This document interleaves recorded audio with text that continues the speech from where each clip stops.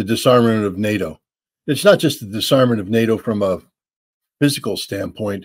Um, NATO has lost all credibility. I mean, NATO lived off of the perception that it was this giant alliance with full of these modern armies with this modern equipment.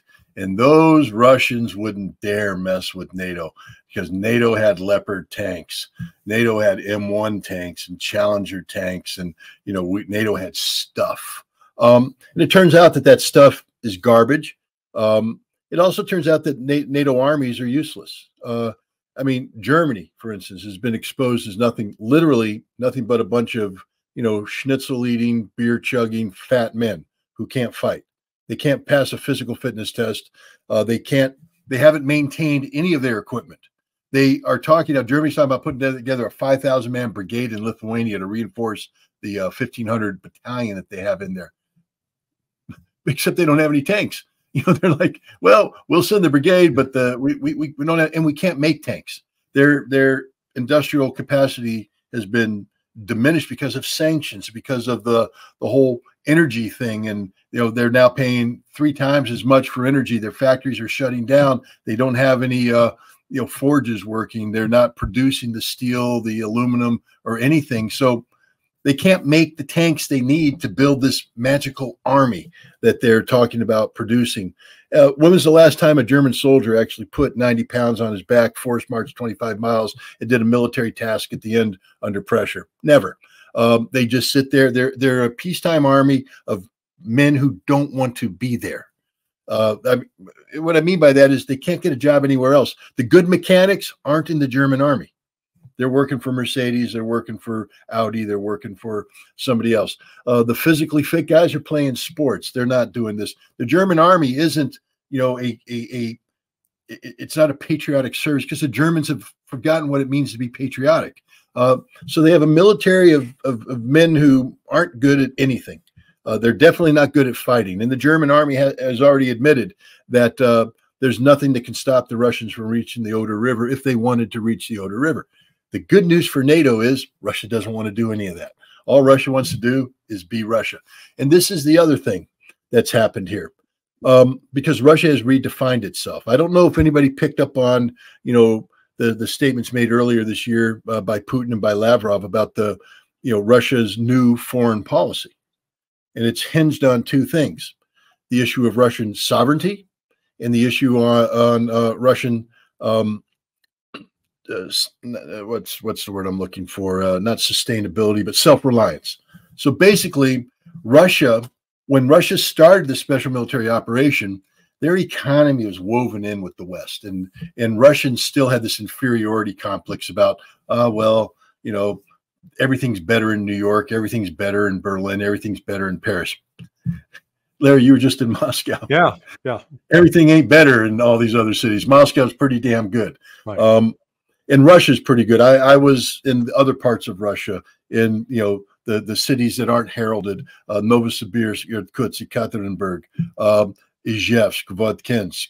Um, they're doing okay too. Yeah. Uh, they're, they're doing, Russia's doing okay. It's not perfect. I'm not going to sit here and tell you that. I mean, Moscow's damn close to being perfect, but Russia is, you know, it's got issues. Hell, they were in the 1990s. Russia was a destroyed economy, a destroyed society. Right. It's, you know, Putin has been rebuilding them for 23 years successfully. But that thing that came out of this conflict is Russia has divorced itself from the West. They are done with the West. That doesn't mean that they'll never be friends with the West. They will, but Russia will never again allow the West to be in a position where Russia will be reliant upon them. Those days are over. This is a new Russia. This is a Russia that has said that Russia will never again be subordinated to the West culturally either. The day that the Russians go, oh, those French have better culture than us, is over. Russia's now said we are one of the major civilizations of the world, one of the major cultures of the world. This has been a you know the, the, a paradigm shift in terms of Russia's approach to interacting world. This is the big thing. Defeating Ukraine was automatic. Russia was always going to defeat Ukraine. You know the the timing of it and how that was going to happen. You know, it could be flexed. The defeat of NATO was never intended. That's NATO's fault for get jumping in. But the redefinition of Russia is the biggest story here because Russia now will never back down. And there's a reason why the United States and Europe wanted to break Russia up at the end of the Soviet Union because Russia is a huge landmass with a whole bunch of potential, a whole bunch of potential. And when you combine that landmass and that potential, you create a problem that the West can't contain. So we wanted to break it up. That's over now. Russia is united, Russia is whole, and they they they will emerge as you know one of the top three power. I mean, they are already you know the top three powers, but they are going to be. You know, I, I remember how you know everybody uh, talked about you know Russia's just a you know a, a gas station with a nuclear weapon. Yeah, Blinken, Biden, they've all said it. Yep. McCain. Well, Russia ain't a gas station. Russia's uh, Russia is one of the most diverse, culturally diverse, um, one of the most intellectually advanced, and one of the most industrially advanced. And I'll leave it at this all the revolutions that are taking place right now on the battlefield. To give you an example, Ukrainian airplanes started dropping out of the sky where they never dropped out of the sky before. And the Ukrainians are going, What the hell happened? Well, see, Russia sat there and watched and listened. And in less than a year, was able to develop a weapon that could be fired and enter the in, into the supposed safe zone without the Ukrainians detecting it and taking out their planes. Because Russia doesn't have a defense industry that's about gouging the taxpayer. The Russian defense industry receives impetus from the field, inputs from the field, adapts and develops and then deploys and then perfects. And the Russian weapons today are all being fine tuned to destroy Western weapons. Meanwhile, we're still putting out crap that breaks, crap that doesn't work. Um, we haven't refined anything. Larry, do you think the U.S. Army has developed a, a, a drone doctrine that has, uh, you know, FPV drones at the uh, at the company level, uh, maneuvering with with no. no. and if you ain't doing that, you're going to lose a lot of guys because that's the new face of war. And if you don't have your drone capability, you're going to lose too. Yeah, no, they're they're starting to wake up to it, but it uh, you know there's I'm not even sure you know uh, I, I spent 23 years scripting uh, terrorism exercises for JSOC, and so these were uh, these involved terrorist scenarios every uh, in all corners of the world, everything from nuclear to chem bio, uh, and conventional terrorism. And we always had this process at the end, a hot wash, which was called lessons learned. And what I can say after all that time is nobody learned a damn thing. There were no lessons learned. There were and never learned. Now, I want to go back to something that Scott said that I, uh, just to put a, a exclamation mark on it. 43 years ago, when I was teaching at American University while uh, trying to do a PhD, uh, I took a group of students down to the Russian embassy and I, we met, I think, with uh, either the deputy chief of mission or the political secretary. At that time, you the the Soviets, when these guys were Russian, they were insecure, and they showed their insecurity by being by bragging, and being over, you know, would overstate things, and it was, I mean, it, it was so evident that they doubted themselves, and that was the period when you know blue jeans would be a big thing in Moscow. And the first McDonald's, I think, got opened in like 76, 77. Uh, why that's important is I stayed four blocks from that uh, McDonald's restaurant. It's no longer a McDonald's, gone. And the dealing with Russians, they dealt with uh, someone from the foreign minister, foreign ministry, uh, a very senior official. The confidence they have, the maturity they have, the calmness they have is really something that's it's, it's enviable. You wish we had that in the United States, and I uh, I I'm not kidding when I say that the United States is in the process of recreating itself into the Soviet Union, the old one, while Russia is in the prospe- process of making itself into sort of the powerhouse that the United States was in the 1950s, um, because they're excelling across the board. And I think the one temptation Russia will have to avoid is what has helped destroy America. That as long as you go outside and get keep getting involved in foreign conflicts, keep keep butting your nose into other the affairs of other countries, keep spending all of your taxpayer dollars on these foreign wars, you bankrupt your country in the process. And uh, as Scott correctly noted, you go to Moscow and everything's up to date. It's beautiful. Uh, they don't have like in San Francisco, you can get an app which shows you where all the human beings have defecated on the sidewalks. Uh, they don't have poop mats and poop mats in uh, in Moscow. Uh, that you know the streets are clean. It's big snow. People are out shoveling snow, and they got a they got machines that work it and, and get it picked up. So you know, like Scott said, it's not a perfect place, but they've at least spent their money on making Russia great again. And that's, you know, that it, really has happened there.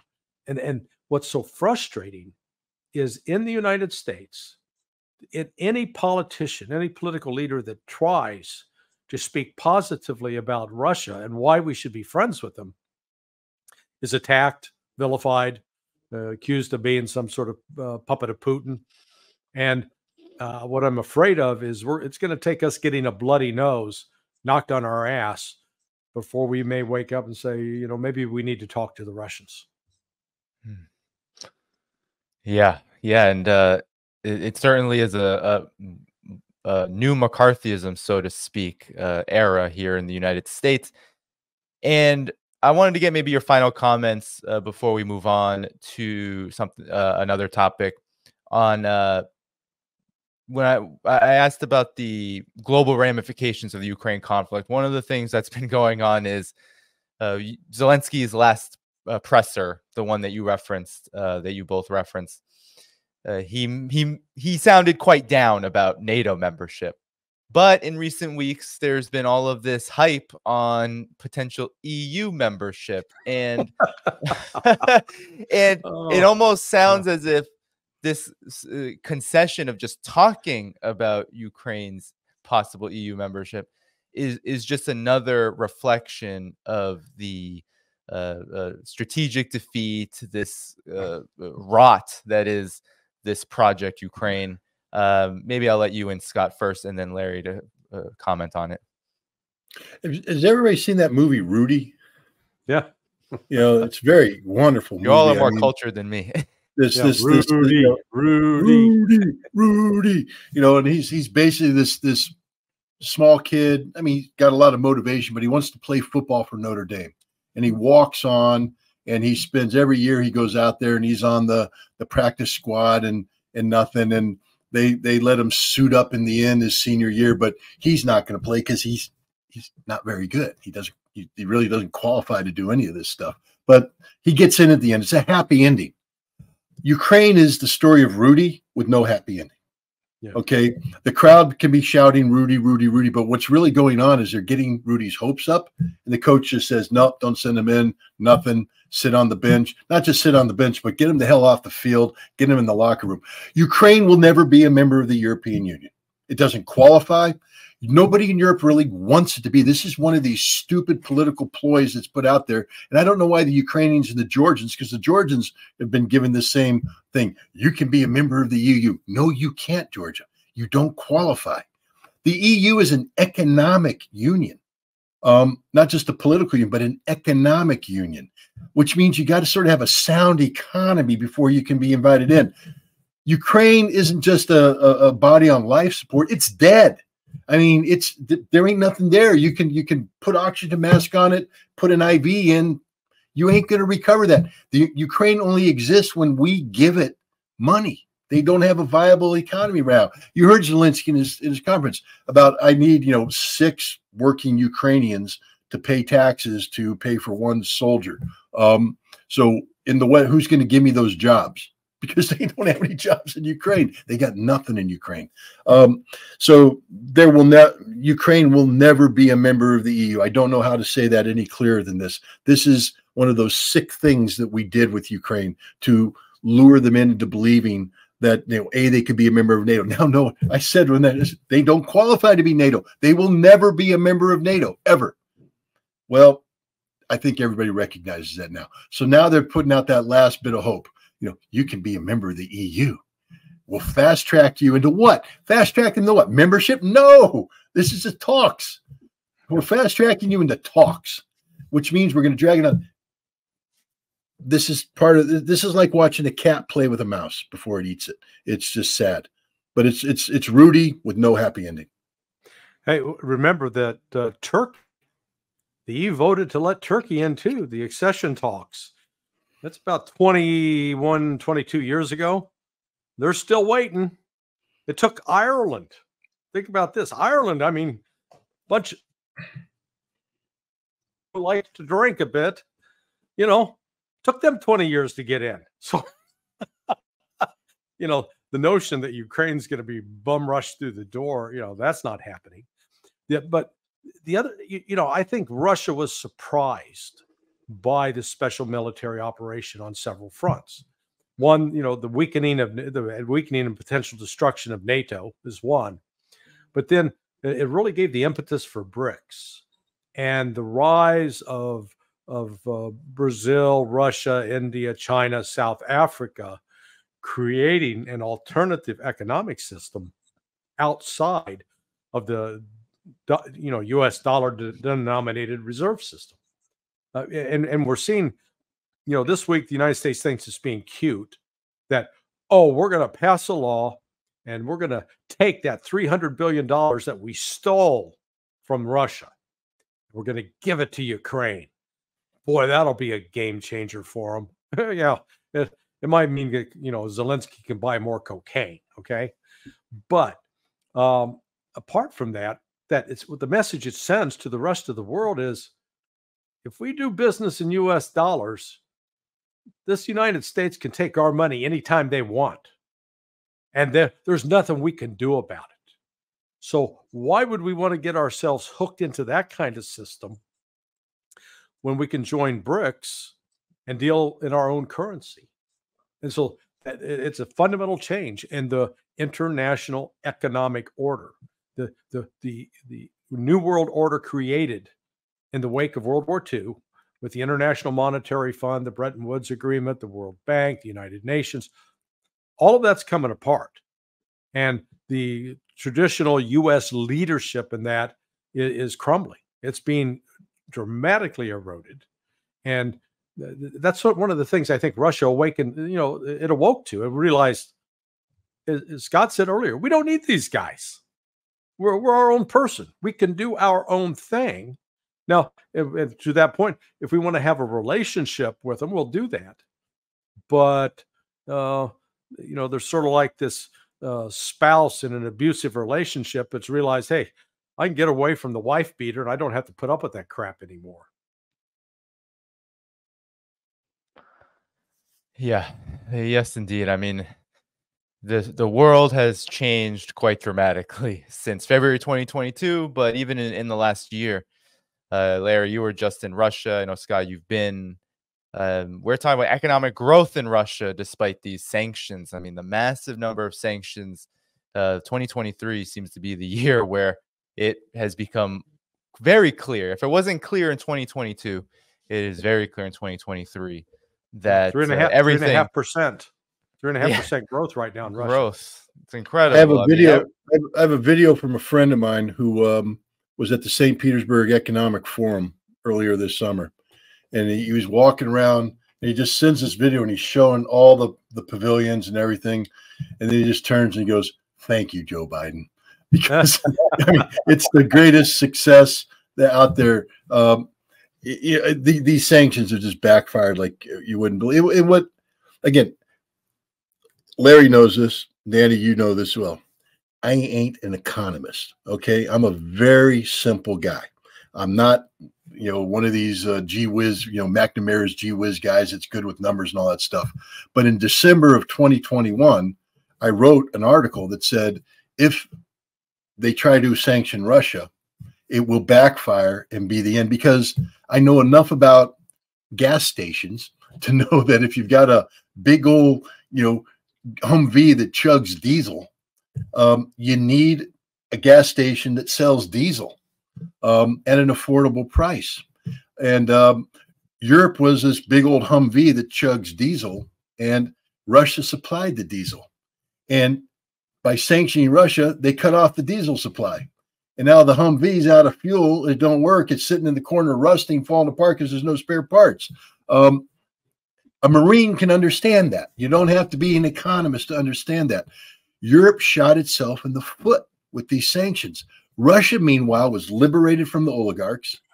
Um, there, all the money the oligarchs were taking out of Russia now stays in Russia, reinvested in Russia.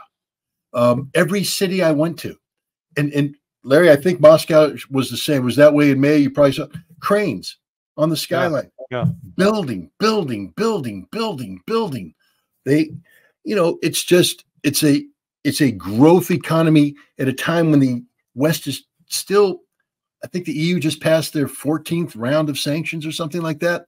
I mean, the first 13 were so good they had to go to 14. It's ridiculous. Well, I mean, again, uh, the book that needs to be written is it'll be a short book uh, where where economic sanctions worked. Yeah, I, I would challenge anybody to cite me a single example in history where a country imposed economics, in particular economic sanctions on another country, and it compelled that country to both either change its policies or change its political leadership or both. Yeah. Uh, not a single, I mean, the United States keeps trying it over and over and over. And what happens? Cuba? Iran? You know, Venezuela Russia. looks strong right. right now. Venezuela looks strong, and, Yeah. and it's not a strong country normally, but it is. Yeah. It doesn't look like it's changing. Syria So- too. Yeah. so I, you know, uh, I was never asked to write this when I was at CIA, but you know, somebody said, "Hey, kid, give us an assessment. Can sanctions work?" And you, and I said it would be a pretty brief, succinct paper. No, they don't. Don't do it. Find something else. Well, sanctions is is is it's not a policy; it's the lack of policy. Yeah, Uh, Yeah. When when we impose sanctions, what we're saying is we don't know what to do, and so we're going to punt. We're going to put sanctions in place uh, to buy time to look like we're doing something while we do nothing. Meanwhile, all we do is end up isolating isolating ourselves further. Our strength came from the, the fact that we dominated the global economic system. And the only way you continue to dominate is by having people buy into it. You know, Right. and, then, and then they buy into it. Now you can, if you're smart, you manipulate on the sidelines. You don't do the big thing because you want them to continue to buy into it. You want them to keep coming. You want them to keep signing up, get more subscribers. Um, but manipulate on the sideline, control indirectly. And if you're clever, you own the whole world. No, well, see, politically, we can't do that because we have to have Marco Rubio and uh, you know uh, Ted Cruz and all these other idiots. Um, you know, we're strong, we're America. Uh, like Tony Blinken, we. I know we might get to China, but you know, we can only deal with China from a position of strength. Really? Um, how about just Yeah. dealing with China? That would be nice. But the the point is, we screwed up because we sanction everybody, and they end up saying, "We don't want to play anymore." What do you think is going to happen, Larry, when they take three hundred billion dollars from Russia? Because Yeah. up until now, we've had Janet Yellen and others say we can't do that because that's illegal. Uh, and, and, and Russia's going to put, you know, Russia will take back uh, loans that uh, U.S. companies were expected to be repaid. Russia will just confiscate. I So mean, they got three hundred billion dollars worth of infrastructure in there; they'll just nationalize. yeah, oh, Yeah. So it, uh, it's foolish. And it also means that nobody's ever going to want the dollar again or the euro again. Yeah. Which is happening right now. That's what the whole impetus behind de-dollarization isn't that the dollar is a weak currency. Actually, the dollar on the international trade is a very strong currency. Uh, look at it. When you trade in the dollar, you don't have any of this messy currency exchange rates and this complication. Uh, things happen smoothly because everybody's using the same currency. How stupid were we to end that system? What we've done now, though, is make the dollar a, a, a suicide pill because now, you know, SWIFT, I can't, you know, I can't do, I'm a sovereign nation. I want to do something, but I can't now because my my dollars touch the or or a dollar I use touched the banking system. So now the US government can come and tell me what to do. I mean, the, the arrogance of the Congress to say, if you touch a dollar, we own you. And then we say we want everybody to have their their their you know fiscal their, their reserves uh, in dollars and euros again because of the ease of commerce, and we we put them in banks so that things are convenient, things are fast, the transaction, and then we seize them, and people are going to go, well, you know, I know it's inconvenient for me to trade with uh, renmin and and and and uh, in rupees, but ain't nobody going to be seizing my money. Uh, America has basically nego- navigated itself out of a winning position. We were controlling the world because we had a system in place that enabled us to control the world with very little effort. And we've thrown that away because of sanctions, this arrogance, etc. And the world will never go. BRICS, BRICS was a was a Division three football team, a, you know, a couple years ago. They weren't very, you know, it was like BRICS, the potential of BRICS. Maybe someday they'll grow up bam, instant, instant adulthood. Not because BRICS suddenly, you know, blossomed, because America became such a bad option that everybody went, got anything else out there? BRICS. And look, BRICS had to grow up quick. The South Africa uh, summit they had, that was that was called rapid adulthood, where they had to come in. They talked about expanding. Russia's taking over BRICS on January 24th. They're going to expand and even expand more. They're off to the races now. Um, Good job, America. Good job, Tony Blinken. Well, you know, one other thing on this that America really is like poked one of its eyes out when it uh, pushed Russia off SWIFT. Because why, why is that? Well, if you're transacting in dollars, any transaction in dollars going through SWIFT is going through the United States electronically, which means that NSA can pick that up and monitor every single transaction. so now what we've done is a well, we're not going to look any. We just po- poked our eyes out, so Russia can go do. Uh, you, you know, if it was engaged with some skullduggery with its money, we're not going to see it now. And I mean, that's a, another self-inflicted wound. Just it just shows how stupid and short-sighted these people are. They just uh, they, they want to do things. To, you, to yeah, build on what Larry just said, um, tankers, old tankers. You know, Russia's built this ghost fleet I have to laugh about this because if you remember the arrogance, we're going to put a cap on Russian oil. Yeah. Really? Oh, they're doubling down on that supposedly. Yeah, that's we're gonna we're gonna deny we're gonna deny Russia insurance. Really? And you don't think Russia has a plan? So Russia went out and bought all the old tankers in the world, and they filled them up with oil. And and now we don't know because they bought them not with dollars. They bought them on the market on a market that we don't control anymore. We have no clue how many tankers Russia has and is operating. We have no idea what's going on. All these people that used to run the, the world oil thing and you know, oh, I can predict the price. You can't. They you know, because they don't know what Russia's doing. They have no clue what Russia's doing. Because half of what Russia's doing right now is being reported in channels that the NSA isn't collecting on anymore because we've we've allowed Russia to unplug from the the known knowables. So we are this this is my my frustration with people who are supposed to be experts in the energy security business. They haven't a clue about Russia. They don't know anything about Russia. They they claim they don't need to know anything about Russia. They don't want to know. And this is why Russia's running circles around us. Because Russia knows everything about us. Russia is very knowledgeable about who we are and what we are. That's why Russia's so patient. Do you see any panic from Russia? Larry, did you see any panic? No, no panic. All There's calm. nothing but panic in Washington, D.C. Nothing but panic. Why? Because they have no clue what's going on. They literally have no clue. All they'd have to do is pick up the phone and call the Russian ambassador, Anatoly Antonov, and talk. And he, he'd be more than happy to. But we don't allow anybody to engage with him. We've got nobody in State Department having connectivity with Moscow. I mean, Moscow used to have one of the biggest North American bureaus out there, you know, in the foreign in the foreign ministry. a Whole bunch of experts on America who would pick up the phone and talk to their American counterparts when problems need to be solved. America hasn't made these phone calls, so they're redistributing these people. Um, and Russia doesn't care. Russia's like, you don't want to talk to us? That's okay. Chinese want to talk to us. Indians want to talk to us.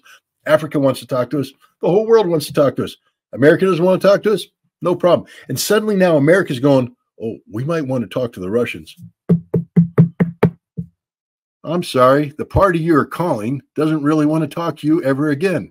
You know, and that's the reality. we've blown it with Russia. We have truly blown. It. Thank you for tuning in to my latest video. I appreciate all of your support. This channel, however, needs your help.